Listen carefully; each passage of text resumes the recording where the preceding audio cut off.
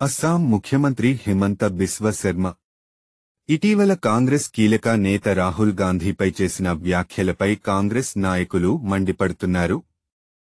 ఈ క్రమంలో Telangana PCC chief అధ్యక్షుడు Revanth Reddy Jubilee hills police స్టేషన్లో అస్సాం ముఖ్యమంత్రిపై ఫిర్యాదు చేసి కేసు నమోదు చేశారు. ఇక ఇదే సమయంలో తెలంగాణలో మిగతా ప్రాంతాలలో కాంగ్రెస్ నాయకులు ఫిర్యాదులు ఇవ్వగా పోలీసులు పెద్దగా పట్టించుకోకపోవడంతో తెలంగాణ కాంగ్రెస్ నేతలు ఆందోళనకు పిలుపునిచ్చారు.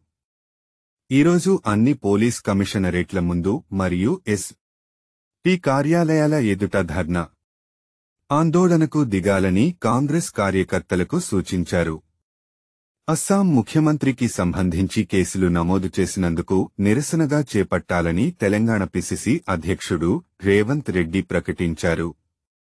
తాను హైదరాబాద్ కమిషనరేట్ వద్ద ఎంపీ కోమటిరెడ్డి వెంకటరెడ్డి రాచకొండ కమిషనరేట్ వద్ద ఆందోళనలో పాల్గొంటారని రేవంత్ రెడ్డి స్పష్టం చేశారు. పార్టీ ఉదయం నిజాం కాలేజీ గ్రౌండ్స్ నుండి కమిషనరేట్ వద్దకు ప్రదర్శనగా వెళ్తున్నట్లు అందరూ నాయకులు కార్యకర్తలు పాల్గొనాలని పిలుపునిచ్చారు.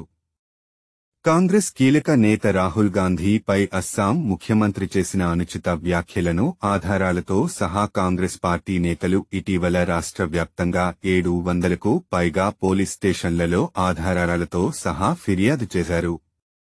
అయితే ఒక్క జూబ్లీ హిల్స్ పోలీస్ స్టేషన్లో తప్ప మిగతా చోట్ల కేసులు నమోదు చేయకపోవడంతో తెలంగాణ కాంగ్రెస్ పార్టీ నేతలు ఆందోళనలు చేపడుతున్నారు.